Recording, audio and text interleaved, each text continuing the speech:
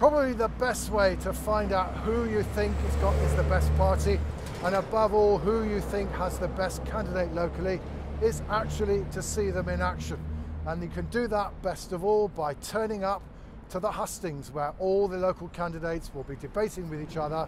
It's taking place May the 31st in McCance 301 at 6 o'clock. Book your place there. Make sure you go because that will be your chance to find out what the candidates think. And by the way, if you've got an awkward question for them, make sure you ask it in those hustings because this is important. This is how we find out what the parties stand for and who you think is going to be the best MP locally.